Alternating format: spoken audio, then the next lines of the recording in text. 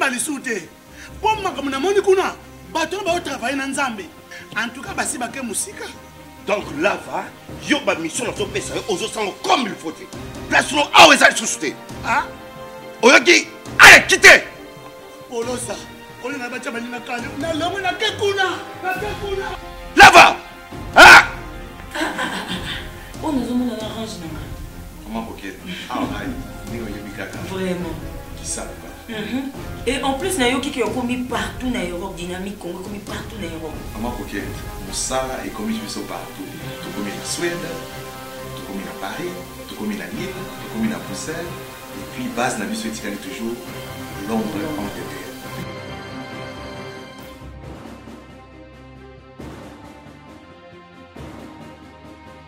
Biso na dynamique congo toza koavanse na nkolo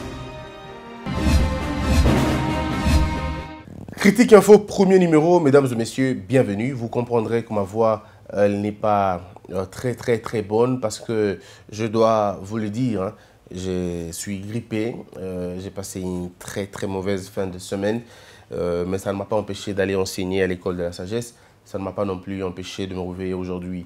Il y a eu une très grande discussion entre le vouloir quitter les lits et vouloir rester dans les lits. C'était assez compliqué. Donc je vais faire un effort de tenir avec ça, mais vous allez comprendre ma voix, mesdames, mesdemoiselles et messieurs. Le système Kabila menacé de l'intérieur. Le CLC exige la démission des juges de la Cour institutionnelle. Le FCC publie ses candidats au bureau du Sénat. Le pouvantail cache FDC.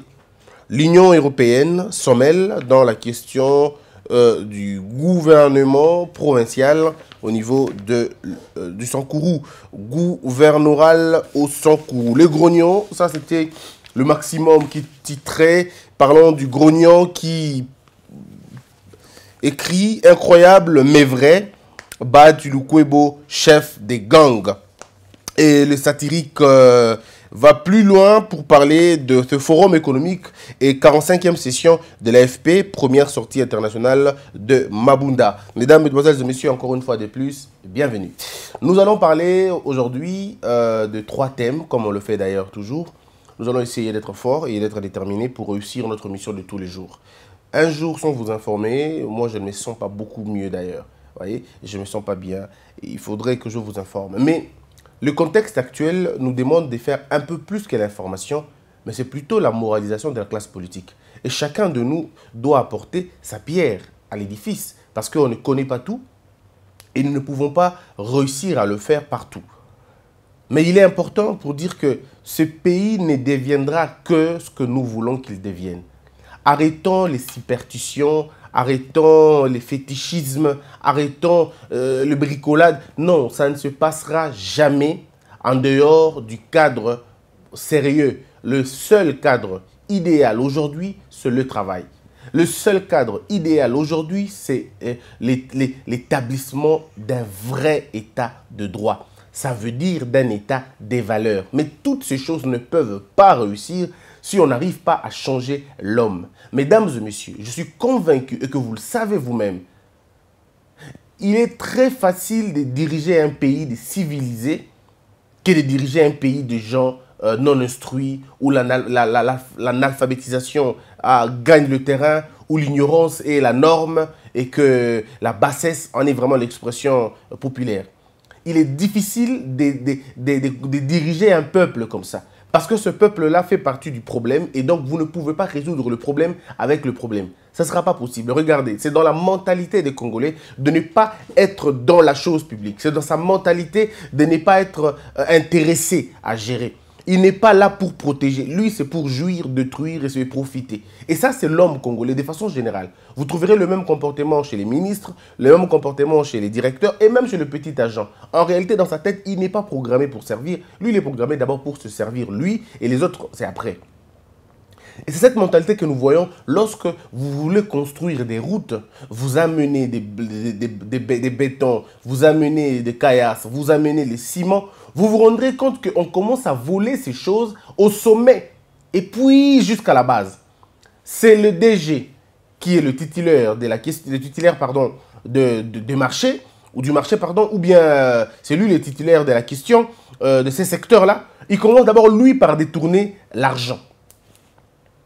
Ça veut dire, si le secteur demande 1 million de dollars, lui, il va surfacturer en demandant par exemple 4 millions. Et quand on lui demande 4 millions, c'est une chaîne qui s'établit progressivement. Lui, il prendra 1 million, l'autre prendra des millions. Et ce sont des pratiques que tout le monde connaît, mais que personne ne combat. Bizarrement, tout le monde connaît, tout le monde condamne, mais personne ne veut arrêter ça. Et nous entretenons de façon collective notre sous-développement, nous entretenons de façon collective notre propre trou, nous nous mettons tous dans un trou. Je le dis toujours et je ne cesserai de le dire, le tout voir, le tout entendre et le rien dire. Et ce qui est bizarre, ça veut dire déjà au niveau du décaissement de fonds, il y a déjà rétention à la source. On garde l'argent là-bas. Vous voulez construire des stades Ok. C'est combien le, réel travail va demander 2 millions, mais vous allez voir, la facture va être une facture de 20 millions de dollars, 30 millions de dollars, de dollars 30 millions de dollars. Et une facture pareille passe rapidement.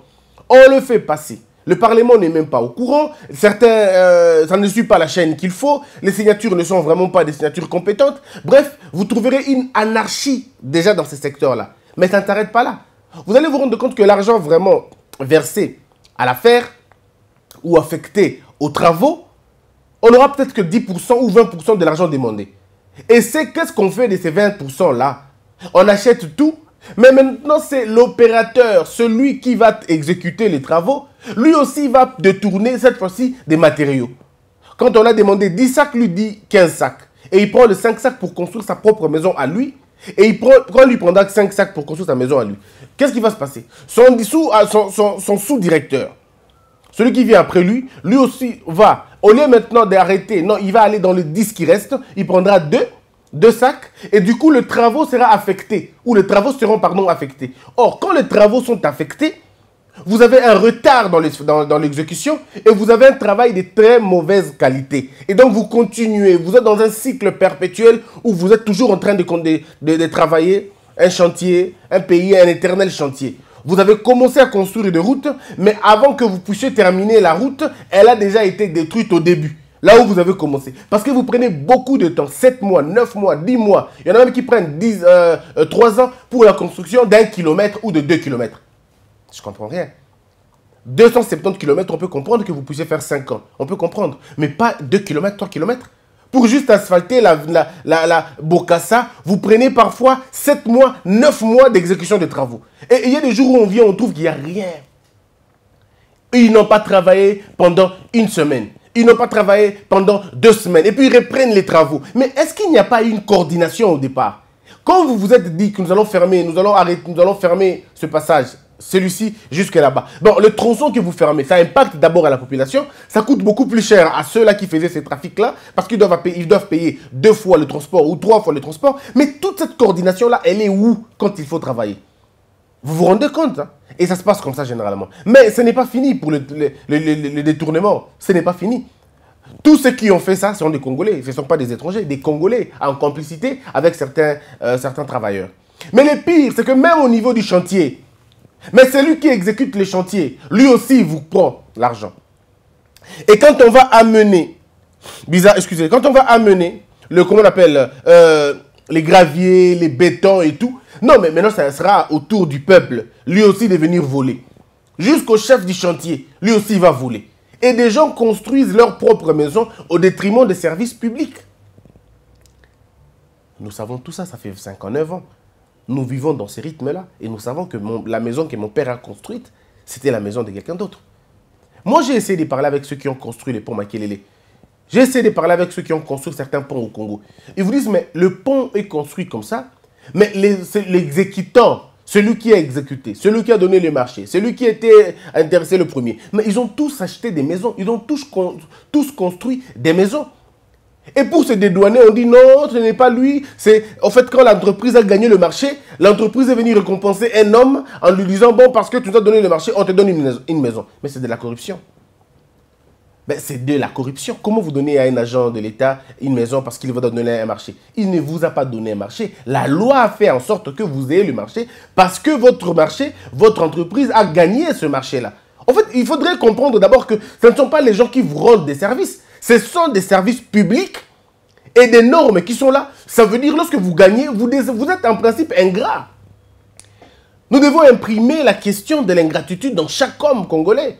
L'ingratitude pas dans la société, mais l'ingratitude vis-à-vis des institutions, nous vis-à-vis des gens qui nous nomment, pardon. Nous devons être reconnaissants à l'État congolais, reconnaissants aux lois congolaises. Voilà pourquoi il faut qu'on travaille bien et dignement.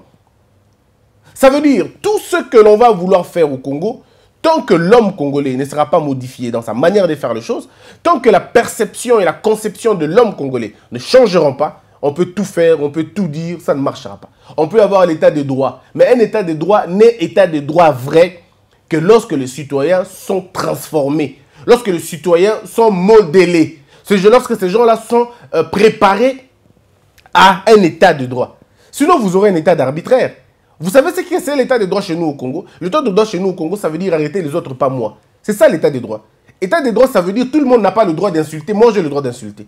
État de droit, ça veut dire quand je suis aux côtés du président, eh bien la loi est avec nous. Nous, nous pouvons tout faire par les autres. C'est ça qu'on appelle un état de droit au Congo. Mais en réalité, l'état de droit, ce n'est pas ça. L'état de droit, c'est la sublimation des lois existentielles. L'état de droit, c'est la suprématie des lois sur les intérêts personnels. L'état de, de droit, c'est lorsqu'on soumet la puissance publique à la règle, à la norme, de tout, à la norme générale. Mais malheureusement, quand on n'a même pas la norme en question, la puissance publique devient barbare.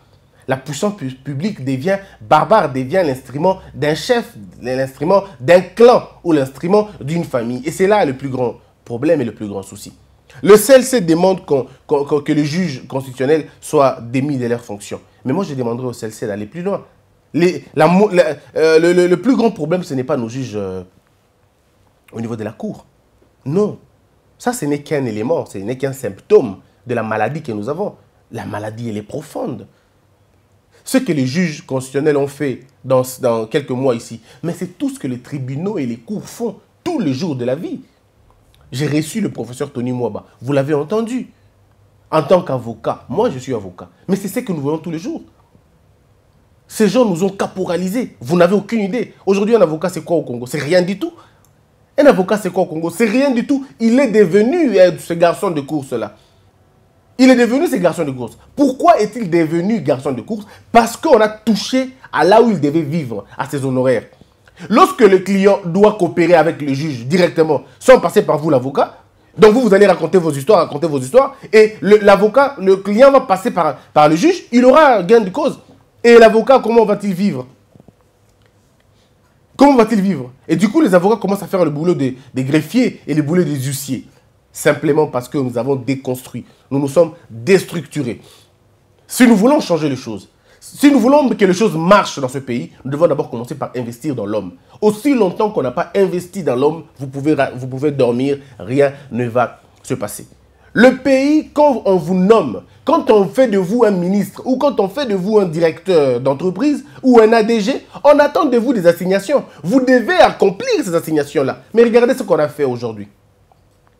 Qui est l'ADG de la SNEL C'est un membre d'un parti politique. Qui est l'ADG des régies des eaux? C'est un membre de parti politique. Ce ne sont pas les agents de carrière. Du coup, le pays devient un pays à l'envers. Qui est, la, euh, euh, l'ADG, le DG de l'OFIDA, le DG de la SONAS, DG, vous allez voir que ce ne sont que des gens des partis politiques, mais pas des techniciens au sens propre. Et du coup, lorsque vous placez les politiciens dans l'administration publique, qu'est-ce que vous voulez avoir après? Vous politisez l'administration et vous n'avez rien. Et nous avons l'administration la plus mauvaise, sinon parmi les plus mauvaises du monde. Notre administration, on, fait même, on a une belle architecture. Du côté, sur le point architectural, on a une très belle architecture. Mais le travail, le rendement, c'est extrêmement compliqué, extrêmement nuisible. C'est un peu comme les gens qui sèment leur propre germe de désordre. En fait, on dirait nous grandissons dans le désordre et nous arrosons le désordre. Nous voulons que le désordre continue et que le désordre continue à se, à se perpétrer. Pour que ça change, il faut qu'on touche l'homme dans la tête. Il est facile, comme je l'ai dit au début, de diriger un pays libre, un pays des gens civilisés, il est très facile. Parce qu'eux comprennent les BABA. Ils ont été à l'école, on les a formés, on les a appris et ils savent comment, se tenir. Même quand ils se fâchent, vous voyez vous-même de quelle manière ils conduisent leur colère. On a vu les gilets jaunes. C'est vrai qu'il y a eu beaucoup de débordements, mais on a vu d'abord comment ils étaient, comment ils procédaient à Nabakolère, Nabango. C'est en fonction de leur manière de faire les choses. C'est en fonction de manière d'abord qu'on vivre. Au Congo, il suffit que deux, trois personnes se réunissent ensemble pour que le désordre commence. Deux, trois personnes. Parce que lorsque vous avez la masse des bêtes, la masse des idiots, ou la masse des, des, gens qui n'ont pas été à l'école, des gens qui n'ont pas été instruits, et des gens mal éduqués, la masse des mal éduqués et la masse des gens éduqués, eh bien, vous allez vous rendre compte qu'il y a toujours deux manières de faire les choses. Simone Freud disait, la masse n'a pas étudié, la masse n'est pas intelligente, la masse n'a pas de raison. Mais il y a toujours une différence dans les deux masses. Et la masse des gens qui ont étudié, vous allez vous rendre compte qu'ils vont, ils vont, ils vont faire des choses, oui, mais qui vont être assez raisonnables. Mais la masse des gens qui n'ont pas étudié, eh bien, ils vont faire des catastrophes. Tout simplement parce que ce sont les, la, la, masse est composée des individus. Et ce sont les individus là qui forment ce qu'on appelle euh, une, force, euh, une force redoutable ou une force, euh, tout ça. Et donc, lorsque vous prenez par exemple le pays comme le Congo, vous trouvez, s'il vous plaît, 90% des personnes qui n'ont pas étudié dont l'âge varie entre 0 et 25 ans. Quand on parle de l'alphabétisation au Congo, c'est généralement un petit nombre. En 2013, on, avait, on était à 65%. Mais maintenant, le problème, c'est, là je rejoins euh, mon, mon, aîné, M. Ngbanda. M. Un, dans, son livre, il écrit, les semi, il parle des semi-lettrés. Ça veut dire des gens qui ont été, qui ont été à l'école, mais dont on ne trouve rien de l'école en eux. Rien. Ni instruction, ni éducation. C'est des gens qui ne parlent que français. Mais ils sont déstructurés, déformés de par l'usine des chômeurs qui est l'école aujourd'hui.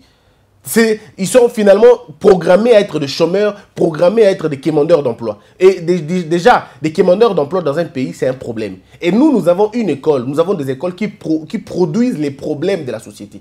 Parce que l'école produit des gens, mais qui ne vont rien faire, qui vont attendre qu'on leur donne le boulot. L'école a produit des gens qui ont la mentalité des fonctionnaires. Ils ne s'imaginent pas. Ce sont des gens qui ne sont pas appelés à innover, qui ne sont pas appelés à créer, qui ne sont pas appelés à fabriquer, mais ils sont des gens qui sont appelés à être des fonctionnaires. Or, vous, êtes vous avez un État que vous ne pouvez pas prendre tout le monde à l'État. Il faudrait qu'il y ait des initiatives privées. Kennedy disait aussi en temps qu'on n'a pas besoin de créer. Le gouvernement ne donne pas le boulot aux gens. Le gouvernement crée des mécanismes pour permettre à tout le monde de créer un boulot, de créer quelque chose, de trouver un moyen de le faire. Mais vous, vous avez la majorité de vos jeunes entre, entre 15 et, et, et 35 ans, c'est des gens qui sont des chômeurs. 99% des jeunes sont chômeurs aujourd'hui. On va dire peut-être 87% si vous voulez. L'ensemble du Congo, en 2013, il y avait 96% de chômeurs. 96% de chômeurs en 2013. Alors, et la majeure partie, c'est les jeunes et les femmes qui ne travaillent pas. Et entre dans la même condition, vous trouvez l'informel qui bat son plein. Ça veut dire que nous nous organisons à ne pas trouver la solution de nos, à nos problèmes. Et donc, dans un pays comme ça, vous ne pouvez pas se développer ce pays-là avec la dictature, je avec pardon, la démocratie. Excusez-moi, je, je m'excuse, mais je dois vous dire la vérité. On ne peut pas. Il est beaucoup plus facile pour M. Kagame de résoudre le problème du Rwanda parce qu'ils sont combien déjà? Ils sont combien? Et donc, vous allez vous rendre compte que la population du Rwanda est estimé à 12 187 000 habitants, quelque chose comme ça. 12 millions. C'est pratiquement la population de Kinshasa. C'est-à-dire le Rwanda lui-même a 12 millions. 12 millions, une sorte de 187 000, millions de, pardon, 1000 personnes.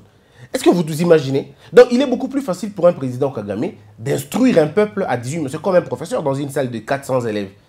Et vous avez un autre professeur dans une salle de 12 élèves ce professeur de 12 élèves sera beaucoup plus fort, beaucoup plus pertinent, parce que sa salle est, réduite. Je n'excuse pas les difficultés du Congo, mais ici je suis en train simplement de dire que nous avons placé le bœuf, pardon, le, oui, la charrue avant le bœuf. Et c'est là le problème. Nous avons, nous nous sommes détruits déjà au départ. La réponse n'était pas la démocratie. Je suis désolé. La réponse n'était pas la démocratie. Platon le dit aussi clairement, que la démocratie dans un pays où les gens n'ont pas étudié, c'est un système abject. C'est de l'anarchie malheureusement. Parce que les gens ne sont pas responsables, les gens ne sont pas tolérants, les gens ne comprennent pas c'est quoi la démocratie. Lorsque vous leur donnez ça, ou bien vous créez un désordre. Tout le monde va parler, tout le monde va se croire euh, prêt à raconter ce qu'il veut, et ça va être un désordre totalement. Un vrai, un vrai désordre.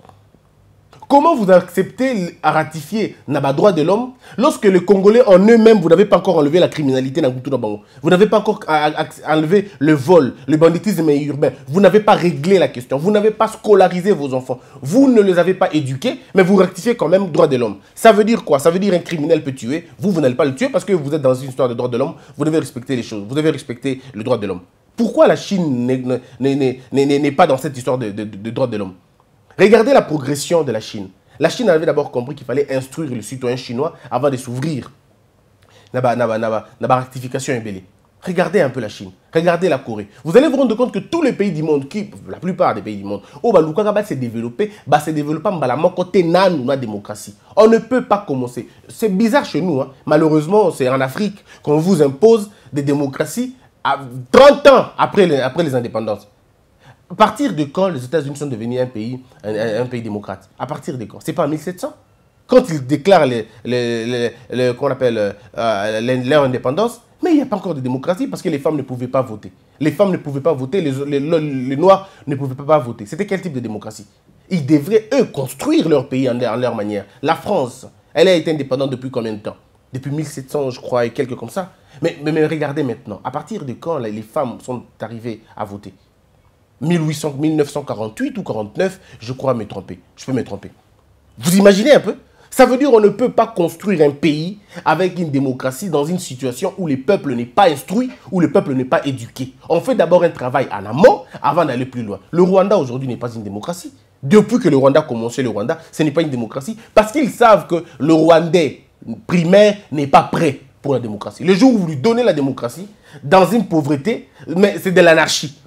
C'est vraiment de l'anarchie, comme chez nous au Congo. Aujourd'hui, regardez, à cause de la démocratie, tout le monde raconte ce qu'il veut à la télévision. Regardez ce que nous téléphonons aujourd'hui. C'est pratiquement du vrai et du gros n'importe quoi. Tous les débats à la télévision, des débats politiques, c'est solde par des insultes. C'est-à-dire des gens se réveillent le matin, ils se lavent, ils viennent à la télévision pour insulter. Est-ce que vous pouvez imaginer ça? Et nous voulons construire un pays, on dit non, nous sommes une démocratie. C'est ça la démocratie. La démocratie, ça ne veut pas dire des insultes. Non, c'est dans la tête de l'homme. Vous savez, au Rwanda, ils ont fait des tentatives de démocratie. Et ces démocraties-là se sont révélées avortées. C'est ce qu'on appelle une démocratie avortée. Nous, nous sommes une démocratie, euh, je, veux dire, hein, euh, comme je le dis toujours, une démocratie dévergondée, une démocratie maladroite.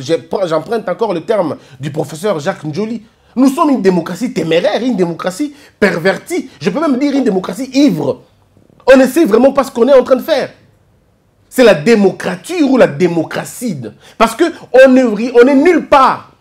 Un citoyen peut se réveiller, il vient à la télévision, on lui, donne, on lui tend le micro et il insulte le président de la République sans gêne. Ça n'a pas commencé aujourd'hui, même à l'époque de Kabila. J'ai entendu des gens, que vous, des gens que vous avez fait des députés, ils sont aujourd'hui des députés, ils sont députés simplement parce qu'ils insultaient Kabila à la télévision. Est-ce qu'on est sérieux? Sommes-nous sérieux? Il y a moyen de décrier des problèmes sans insulter. On ne peut pas, mes frères et sœurs, obtenir une, chose, une sorte de démocratie sans que la tête du Congolais ait changé. Et nous devons travailler sur la question là. Voilà pourquoi c'est le sujet d'aujourd'hui, on le dit, le plus grand chantier de Félix. Le plus grand chantier du président, c'est la tête des Congolais. Et il y a deux façons de faire les choses, la sanction et l'éducation. Le jour où vous rendez la scolarité gratuite et obligatoire, et en même temps vous sanctionnez sévèrement les gens qui sortent du système, c'est ces jours-là qu'on peut encore dire. Moi, je crois même proposer une suspension de la démocratie. Ou alors une mesure de booster la démocratie à l'intérieur. La démocratie à l'intérieur, ça veut dire qu'on doit encadrer cette démocratie. Si on ne va pas la suspendre, mais au moins encadrons-la. Au moins encadrons-la, sinon ça va être vraiment une kermesse. Nous avons créé une kermesse au Congo, une kermesse démocratique. Oui, vraiment une kermesse démocratique. Tout le monde croit qu'il peut raconter des choses à la télévision, même à l'endroit des gens. Les gens n'ont pas le respect de- des autres. Depuis que j'ai commencé mes émissions jusqu'à la fin, je ne me vois pas en train d'insulter quelqu'un. Je ne me vois pas. Comment je ferais pour insulter quelqu'un? On qualifie des actes, euh, des actes pas bien, de comportements indécis, indécents. On essaie de le faire. On essaie de parler de ces choses-là. Mais je ne peux pas aller insulter des gens. Je ne peux pas aller rentrer juste dans l'intimité des gens. Mais vous avez au Congo des gens qui se réveillent un matin, à lui par exemple, Vital Kamere, Obala Mosi Beponanini, Mosi Nayokutu, Asala Kibo. Est-ce que vous imaginez ça un seul instant? Vous imaginez ça. Et puis vous dites non, c'est ça la démocratie. Ça, c'est pas la démocratie. Ça, c'est l'anarchie tout simplement. On ne peut pas. Vous avez entendu ici, j'ai entendu des gens dire à la télévision, Martin Fayulu nanu papa nezalaka nani Martin Fayulu wana toyebi ye nanu Je comprends plus rien. Vous commencez à toucher la personne dans sa vie privée au fait de tous les jours.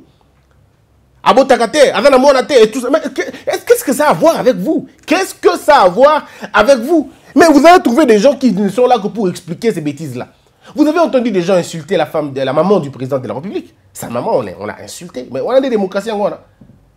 Vous avez déjà vu en Chine les gens, Tomboki, Basiliki, allaient venir au film de Maman Jinping? Ou bato na corée batomboki bandi kofinga mama ya, ya, ya, ya, ya, ya, ya, ya kim. Eza babiloko ekomata bino même pas na mutu. Ekomataka même pas na mboka mosusu. Ou les rwandais kofinga mama, mama, mama kagame. Ça ne peut pas monter dans leur esprit parce qu'ils savent que notre banditisme aura une réponse proportionnelle au banditisme. Il faudrait installer un état comme ça. En fait, un État qui répond proportionnellement à la bêtise des gens. Vous commettez une bêtise plus grande, l'État vous répond de façon vraiment proportionnelle. Et quand il y aura quelqu'un qui sera frappé, alors sévèrement, il va donner la leçon aux autres. Tout le monde comprendra que ah ah. Ah ah Le Congolais apprennent par, l'exemple. Et si le président Félix ne comprend pas ça, ça va être très dangereux pour lui. S'il pense qu'on va construire le pays dans ces deux ordres-là, où tout le monde peut raconter, alors c'est compliqué quoi. C'est compliqué. Voilà pourquoi vous avez un, ministre qui, qui est là à la maison, abonné qu'on signe. Parce qu'il a qui va s'aller le côté. Oh, tout dans la démocratie, il faut tout dans la démocratie. Non La démocratie, il faut l'encadrer. La démocratie, il faut la surveiller. La démocratie, c'est du gros n'importe quoi. Si vous travaillez mal dans votre démocratie, elle peut se retourner contre vous et vous payer le prix, au fait. Vous devez. en- Il est, il est important que les hommes s'expriment. Je suis d'accord. Il est important que les, que les hommes s'expriment. Pas marcher. Il est très important. Les libertés individuelles, il faut les garantir. Les, droits fondamentaux, il faut les conserver. Mais il ne faut jamais transformer libertés individuelles en un, dans, à, un libertinage obséquieux et même outrageant. On ne peut pas accepter que quelqu'un se réveille un matin et commence à insulter à la télévision, peu importe la personne qui l'insulte. Combien de fois bah, déjà l'entreprise baza considéré le quoi pena Moïbi Déjà on a ye Mes frères, est-ce que vous savez que ne peut dire voleur que le juge ou le procureur D'ailleurs, même le procureur ne peut pas dire que tel est voleur, parce que ce n'est pas lui qui condamne. Il n'y a que le juge qui dit tel est voleur.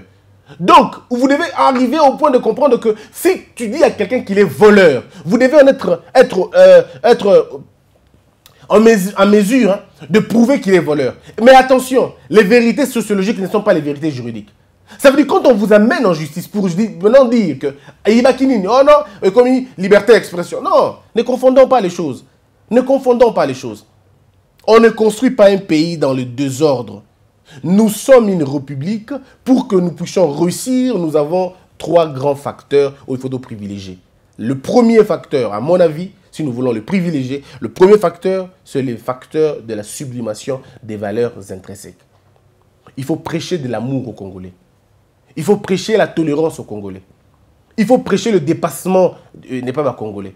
Il faut leur enseigner la vérité, l'honnêteté, l'intégrité, le sens du travail bien fait.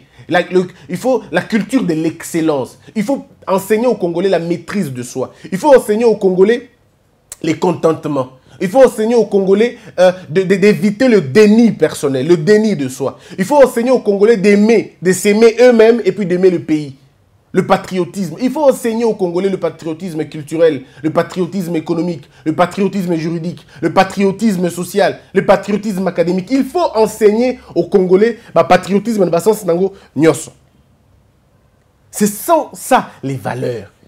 Il faut dire, montrer aux Congolais que la plus grande valeur, c'est de servir les autres et pas de voler, de tricher, de corrompre les autres et de s'enrichir illicitement. C'est ça les valeurs qu'il faut enseigner aux Congolais. Et vous ne pouvez pas le faire si vous ne primez pas les petites valeurs qu'il y a déjà. Au Congo, il y a des gens, des hommes et des femmes qui sont valeureux. Des hommes et des femmes qui n'ont pas fléchi. Ah, ce sont des gens qu'il faut promouvoir maintenant. Parce que lorsque vous êtes en train de promouvoir ces gens-là, vous faites une promotion des valeurs. Et tout le monde voudra se comporter comme tel. Tout le monde voudra dire, ah non, on y est. On dit Christian, par exemple, si je suis primé, je prends un exemple. Non, je ne parlerai pas de moi, je laisse tomber. Je prends Israël Moutombo. Si nous sommes convain- convaincus que Israël Moutombo, mon ami, mon frère, fait un bon travail, le président de la République, dans ses institutions, commence par primer ce monsieur en disant Israël Moutombo, parce que vous avez fait un bon travail, on vous reçoit dans une institution de la République et on vous donne une, euh, sorte de médaille. Quand on vous donnera et le droit médaille, qu'est-ce qui va se passer? Moi, Christian, je voudrais aussi bénéficier de mes médailles. Alors, pour que je bénéficie de cette médaille, il faut que je fasse comme Israël. Du coup, je commencerai à travailler dur comme Israël. Ngamoko na s'auto-censurer. Parce que dans les Guinées, on a la gloire, on a la côté vous savez les, euh, ce qui va se passer? C'est que vous allez créer un- une chaîne ya bato changer moralité na bango parce que bamonaki mutu moko asalaki malamu baélevé ye mais maintenant regardez lorsque vous prenez les journalistes qui n'ont pas de compétences lorsque vous prenez des journalistes qui n'ont rien à faire des journalistes tambourinaires et turiféraires des journalistes qui ne s'aiment que la haine et le tribalisme mais bato ya bongo nde bopesi bango makambo ebele bato ya bongo nde bokomisi bango baconseiller bato ya bongo nde bokomisi bango boye boye boye bango nde boélevé bango. Qu'est-ce que vous faites? Vous tuez les autres. Tout le monde dira ah donc na- nazala élevé il faut que j'arrive à corrompre. Il faut que nayeba koflatter donc nga mpe nalalaka na ntongo nalamukaka nakanisaka ndenge na- ndenge na koflatter président? Alors nga mpe nabandi koya nabandi koflatter président. Soki narate président nazwi mwasi na ye. Soki narate mwasi na ye nazwi bana na ye. Soki narate bana na ye nazwi bacolaborateur na ye ou nazwi parti na donc vous, voyez du coup vous avez détruit toute une société parce que personne ne voudra faire le bien parce que le bien n'est pas primé. Le bien au contraire il est négligé. Et ceux qui ne sont pas dans le bien, bango ne va pas ça, un inconvénient, na biloko mabe, il faut. Deuxième chose, il faut arrêter les fanatismes et l'idolâtrie. Le fanatisme, koti na mboka ba niveau vous n'avez aucune idée. Les partis politiques, comme ils école les fanatiques. Et comme des gens, au bazo kutana pour le fanatisme na bango. Au kutana personne ne peut dire que le président a au mabe. Non, personne. Personne ne va le lui dire. Tout le monde dit qu'il y a bien Amen et Amen. Na MLC, c'est Amen et Amen. Ok, na, PPRD, c'est Amen et Amen. Alors, donc, du coup, nous avons formé un groupe de fanatiques. Et les groupes de fanatiques n'avancent en rien les choses. Ce fanatisme produit à l'idolâtrie. Le fait de voir que tel est Dieu, tel est Dieu. Et vous allez voir que tout comme il faut déifier Bango. On a déifié Mobutu, on a déifié Laurent Désiré Kabila, on a déifié Joseph Kabila. Et je crains qu'on arrive à déifier euh, Félix Tshisekedi. Heureusement que lui-même a interdit ces pratiques-là. Mais on ne s'arrête pas qu'à interdire. Il faut qu'on aille un peu plus loin. Il faudrait prendre des mesures. Il y a Kosakanate, bah mesures, il y a ma casse pour empêcher euh, idolâtrie. A. La chair de l'homme est faible. Nous autres, on supporte le Nzambe asala moto pour supporter le. On ne saura pas. Tu ne peux pas tenir devant, devant euh, euh, l'orgueil de la chair. Tu ne, tu ne sauras pas. Aucun homme sur terre ne peut supporter, supporter cette pression de l'orgueil. C'est une lutte perpétuelle que nous faisons. Il faut commencer déjà à demander à Dieu tout le jour, le matin, de, de, de boucher tes oreilles pour avoir applaudissement et.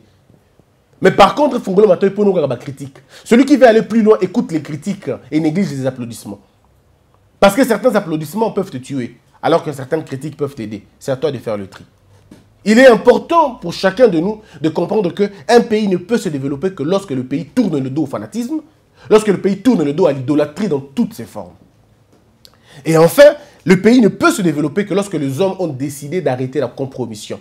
La compromission n'est pas que pour le président de la République. La compromission, c'est aussi le fait, quand on a une base, yo za mama, yo te kakaza na zando, o te kaka kopo ya fufu. Mais tala ndenge osali kopo fufu na ovimbisi yango espace fufu c'est la compromission. C'est la compromission. Tu n'es pas différent de celle de celui qui a vendu l'état. Vous vous êtes compromis. La compromission c'est le fait d'un commerçant qui va acheter babilo na Chine à son numéro la quatrième catégorie aye oteka babato alobi original. Ça c'est la compromission. C'est ça la compromission en fait. La compromission, c'est aussi un journaliste qui, au lieu de dire la vérité, il cache la vérité, il ne le dit pas. C'est de la compromission aussi. La compromission, c'est aussi un journaliste de dire ce qu'il ne connaît pas. C'est aussi la compromission. D'affirmer des choses dont vous n'avez aucune preuve. Koyokaki, Nalobaki, Nalobi. Ça, c'est la compromission. La compromission, c'est aussi à cet agent de l'État qui, au lieu de travailler convenablement, perçoit l'argent en cachette. C'est ça, c'est aussi la compromission. La compromission, c'est aussi un chauffeur na balabala na biso Kinshasa. Oyebi que embouteillage nango te, mais obligé bato basala de- basala demi-terrain. C'est la compromission. La compromission, c'est le fait de sortir de la norme. C'est le fait de sortir de la norme et c'est le fait de contourner les règles. C'est la compromission. Vous vous compromettez. Vous vous compromettez. Alors c'est le type de gens qu'il faut modifier. C'est le type de comportement qu'il faut changer. Et peut-être répondre pour les cas rapidement, il faut une coordination. Il faut une vraie coordination. Il faut comme une sorte d'orchestre.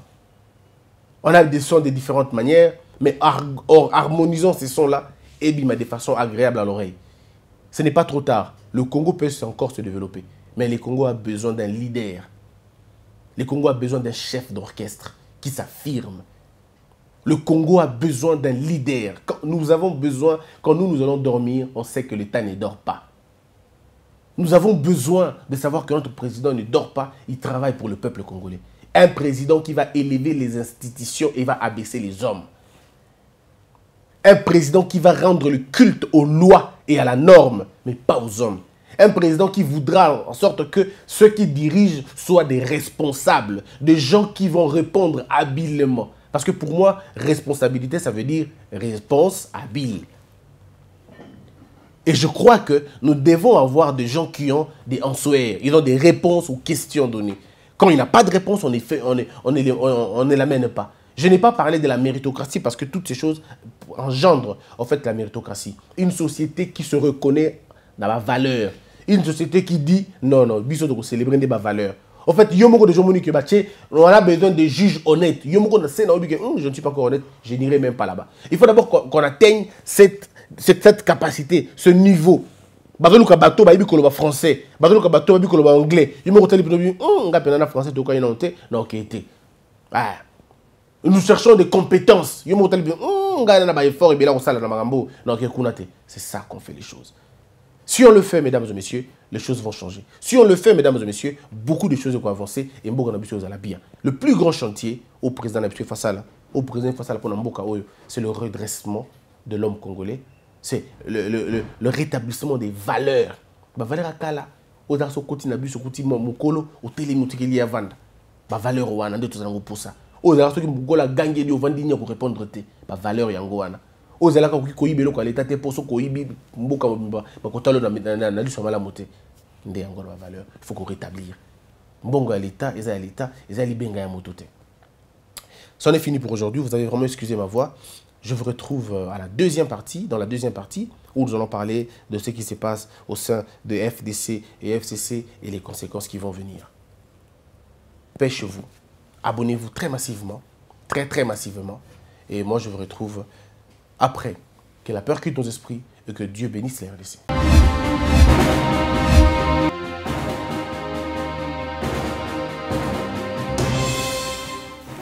apolosa esimba lisu te mpo makambo namoni kuna bato na baotravaille na nzambe antuka basi bake mosika donc lava yo nazopesa yo ozosanga comme il faut te place no awa eza lisusu te Ah, oyoki aleki te polosa oyo na batya baninga kani nalongo nake kuna nake kuna lava Ah!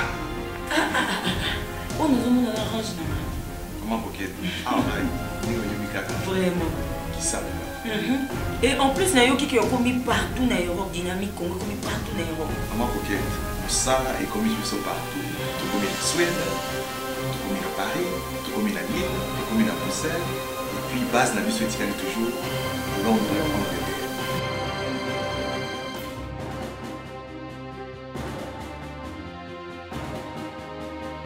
biso na dynamique congo toza koavanse na nkolo